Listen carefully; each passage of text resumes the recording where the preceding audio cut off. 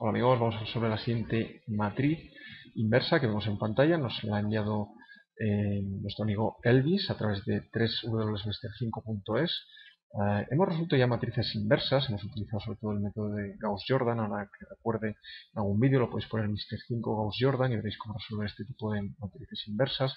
Vamos a hacerlo ahora eh, por otro de los métodos que existe y es que nos dice que la matriz inversa se puede calcular como 1 partido el determinante de A por la adjunta de la matriz traspuesta. Entonces vamos a ir viendo todo esto. En primer lugar, hay que calcular el determinante. Bueno, el determinante lo podemos hacer rápido. Bueno, al principal, 5 por 5, 25 con signo menos. Ahora 5 por menos 4 por 0 es 0. 3 por 3, 9. Es 9. Diagonal secundaria es 0.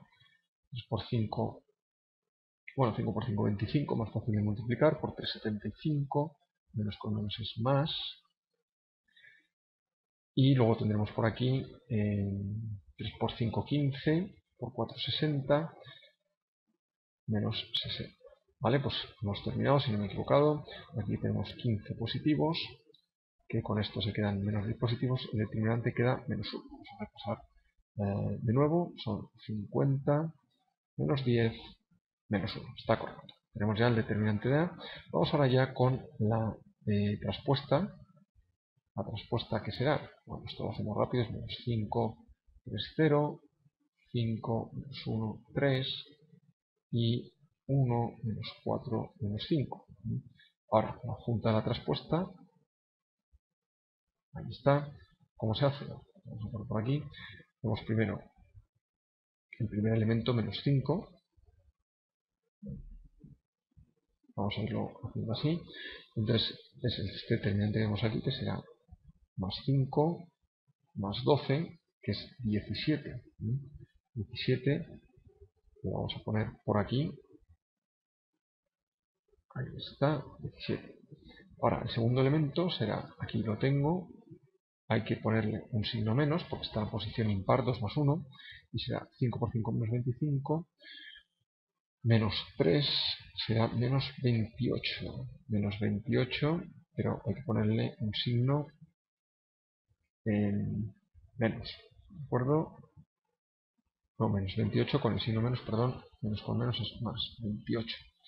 Ahora vamos a esta posición de aquí, con lo cual nos quedará el determinante de esto de aquí, que será 5 por menos 4, que es eh, menos 20, correcto, y más 1, 21.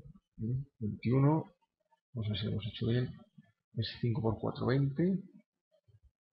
5 por 4, menos 20, perdón, más 1 es menos 19. Como está en la posición 3 más 1 par, lo dejamos en menos 19.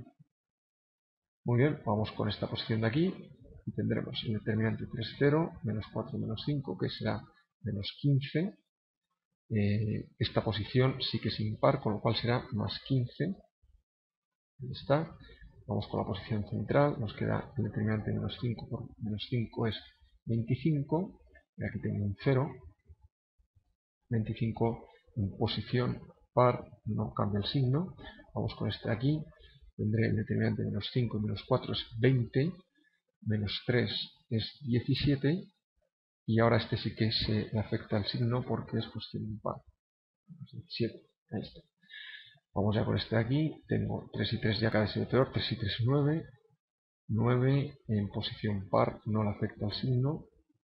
Vamos con este de aquí. Esta posición de aquí tendremos menos 5 por 3 es menos 15. Le afecta el signo, con lo cual será 15. Y ya por último, menos 5 por menos 1 es 5 menos 15 será menos 10 y eh, no le afecta así. Ahí está. ¿Vale? Bueno, si tenéis eh, Elvis, si tienes eh, dudas, vete, ya tenemos eh, teoría, la teoría de matrices, matrices, el tutorial de matrices de Mr. 5, lo puedes ver en listas de función, viene todo esto explicado. Aquí vamos a resolver tu ejemplo en concreto. Y ahora, bueno, pues ya estamos en disposición de resolver. A menos 1 será 1 partido la inversa, que es menos 1, y por esta matriz aquí. Con lo cual, bueno, realmente es cambiarle a esta que hemos sacado aquí el signo. Con lo cual, menos 17, menos 28, más 19, menos 15, menos 25, más 17, menos 9, menos 15, menos 10. Esta sería la matriz inversa. Hemos terminado. Por supuesto, siempre recordamos, para ver que lo hemos hecho bien, habría que multiplicar lo que hemos obtenido por A y eso nos debería salir la matriz de identidad. Recordemos, A por A por la inversa, esto debe ser la matriz de identidad, es decir, 1 se la diagonal Si eso sale, es que hemos hecho el ejercicio bien, o no, aquí hemos terminado. Eh, ya digo, ahí poniendo Mister 5 matrices se puede ver el tutorial con más detalles y también este método concreto. El otro alternativo sería el de Gauss-Jordan, que se podría eh, obtener, podríamos obtener el mismo resultado. Bueno, Elvis, esperamos que haya sido de utilidad. No dudes en contactarnos si tienes más dudas. Hasta la próxima.